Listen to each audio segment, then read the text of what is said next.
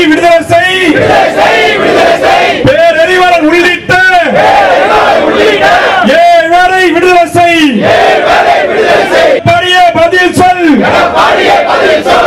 மோசமான திட்டங்களை தமிழ் தலையில் கட்டுகிறாயே. இந்திக்கார சொல்லுறா. சென்னை பஸ்ஸில் சென்னை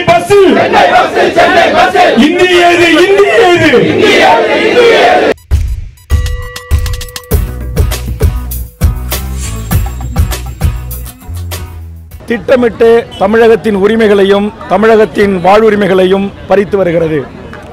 நீட்டு தேர்வில் தொடங்கி இன்றைக்கு மத்திய அரசினுடைய அனைத்து அலுவலகங்களிலும் தமிழர்களுக்கான வேலைவாய்ப்பு பறிப்பு திட்டமிட்டு நடைபெற்று வருகிறது.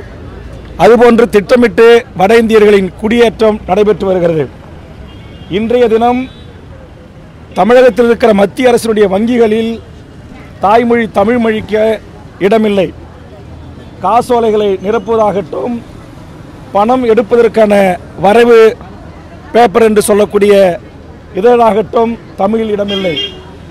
இத்தனை நாட்களாக ஏடிஎம் என்று சொல்லக்கூடிய தானியங்கி இயங்கிகளிலே நாம் பணத்தை போட் எடுத்தால் அதில் தமிழில் பணம் எவ்வளவு மீதம் இருக்கிறது என்கிற விவரம் தமிழில் இடம்பெறும். இப்போது அது முற்றுமுதலுமாக அகற்றப்பட்டிருக்கிறது.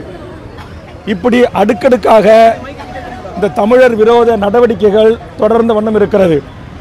எட்டு வழிச்சாலையை ஒரு காலத்திலும் மக்களுடைய எதிர்ப்பை மீறி நடத்த மாட்டோம் என்று சொன்ன எடப்பாடி பழனிசாமி அரசு தற்போது எட்டு வழிச்சாலையை துரிதமாக நடத்துவதற்கு மக்களை அங்கு விரட்டி காவல்துறையோடு விரட்டி கொண்டிருக்கிறார்கள். அதுபோன்று நீட்டு தேர்வை நேற்று கூட பொய் சொல்கிறார்கள் தமிழக அரசு கடுமையான முயற்சியை மேற்கொண்டிருக்கிறது என்று. ஆனால் இவர்கள் ஆதரிக்கிற இவர்கள் துதிபாடுகிற இவர்கள் போற்றி புகழ்கின்ற இதே நரேந்திர மோடி அரசு உயர்நீதிமன்றங்களிலும் உச்சநீதிமன்றங்களிலும் நீட்டு தேர்வுக்கான தமிழக அரசு இ- இயற்றி அமைத்த இரண்டு சட்ட வரைவு மசோதாக்களையும் நாங்கள் நிராகரித்து விட்டோம் என்று சொல்லுகிறார்கள். அதாவது அவர்கள் ஜனாதிபதி மீது பழிபடுகிறார்கள் அது உண்மை அல்ல. மத்திய மனிதவள மேம்பாட்டுத்துறை அமைச்சகம்தான் அதை ஏற்றுக்கொள்ளாமல் மறுதளித்திருக்கிறது ஆனால் ஜனாதிபதியின் ஒப்புதலுக்கு அனுப்பியிருக்கிறோம். ஜனாதிபதி ஒப்புதல் தரவில்லை என்கிற இந்திய நாட்டின் முதல் குடிமகன் மீது பழியை போட்டு தப்பித்துக் கொள்கிறார்கள் இங்கே அதுபோன்று ஒரு அப்பட்டமான பொய்யை தமிழக முதலமைச்சர் எடப்பாடி அவர்கள் சொல்லியிருக்கிறார். பேரறிவாளன் உள்ளிட்ட ஏழ்வர் விடுதலையை எங்கள் கடமை முடிந்துவிட்டது. நாங்கள் தமிழக சட்டமன்றத்தில் சட்டமேற்றி கவர்னருக்கு அனுப்பி வைத்து விட்டோம். கவர்னர் தான் மீண்டும் இதன் மீது முடிவெடுக்க வேண்டும் என்று சொல்கிறார் கவர்னர் என்பவர் ஒரு அரசியலமைப்பு சட்டத்தின் தமிழ்நாட்டின் தலைவர் தமிழக மக்களால் தேர்ந்தெடுக்கப்பட்ட ஒரு அரசு அதனுடைய அமைச்சரவை சட்டமன்றம் என்ன முடிவு எடுக்கிறதோ அந்த முடிவை நடைமுறைப்படுத்த வேண்டிய பொறுப்பு தான் தமிழக ஆளுநருக்கு இருக்கிறது.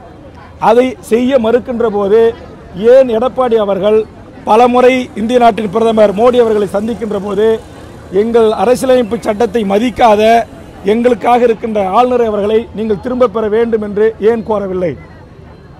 தமிழ்நாட்டு ஏழு கோடி மக்களின் உணர்வுகளையும் தமிழக சட்டமன்றத்தையும் தமிழக அமைச்சரவையின் முடிவையும் ஏற்றுக்கொள்ளாத தமிழக ஆளுநரை திரும்ப பெற வேண்டும் என்று நடைபெறுகின்ற இந்த சட்டப்பேரவை கூட்டத்தொடரில் தமிழக முதலமைச்சர் ஏகமனதாக அனைத்து கட்சி ஆதரவோடு ஒரு தீர்மானம் நிறைவேற்றி அதை நரேந்திர மோடிக்கு அனுப்பி வைக்க வேண்டும் என்று தமிழக வாழ்வுரிமை கட்சி கேட்டுக்கொள்கிறது. அதுபோன்று நீட்டுக்கு அனுப்பி வைக்கப்பட்ட அந்த மசோதாவை நீங்கள் நடைமுறைப்படுத்தவில்லை என்று சொன்னால் நாங்கள் தமிழகம் மத்திய அரசினுடைய எந்த ஒரு திட்டங்களையும் எந்த ஒரு சட்டங்களையும் நாங்கள் ஏற்றுக்கொண்டு உங்களுடைய அரசியலமைப்பு உட்பட்டு நாங்கள் இங்கு எங்களுடைய மண்ணில் சட்டமன்றம் நடத்த இயலாது என்கிற துணிவான ஒரு முடிவை எடுக்க வேண்டும். சட்டமன்றத்தில் விவாதம் வருகின்ற போது திமுகவை குறை சொல்கின்ற அதிமுக நீங்கள் செய்து காட்டுங்கள் நாங்கள் உங்களை பாராட்டுகிறோம் வரவேற்கிறோம்.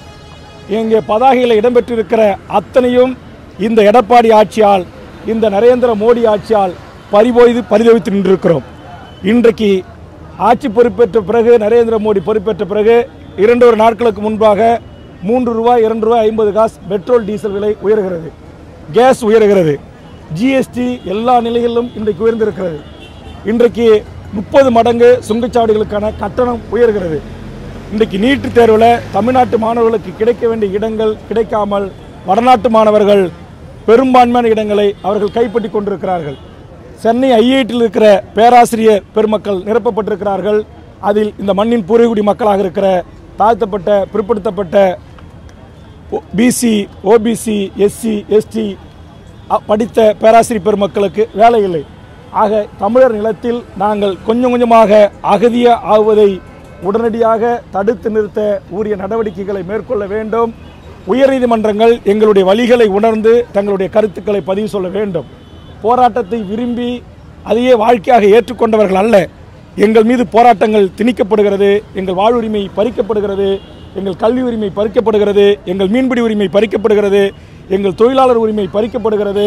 எங்களுடைய இந்த மண்ணில் நாங்கள் பூர்வீகுடி மக்களாக வாழ்ந்த இடங்கள் எங்கிடமிருந்து திட்டமிட்டு பறிக்கப்படுகிறது.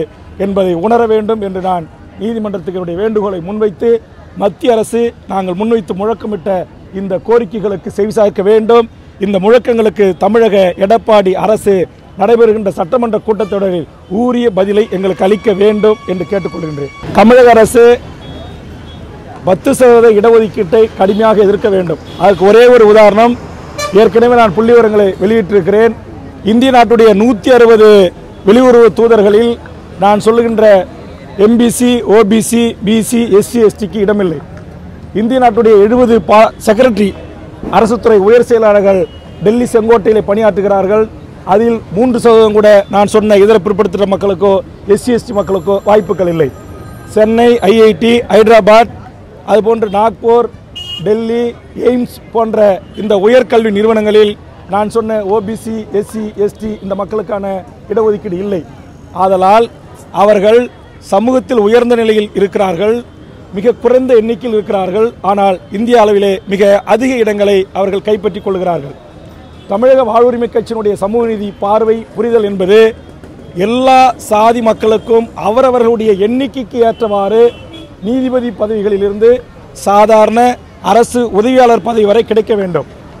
ஒரு மூன்று சதவீதம் இரண்டு சதவீதம் உள்ள ஒரு குடிமக்கள் தொண்ணூற்றி ஏழு சதவீத இடங்களை கைப்பற்றி கொண்டால் அது சமூக நீதி ஆகாது.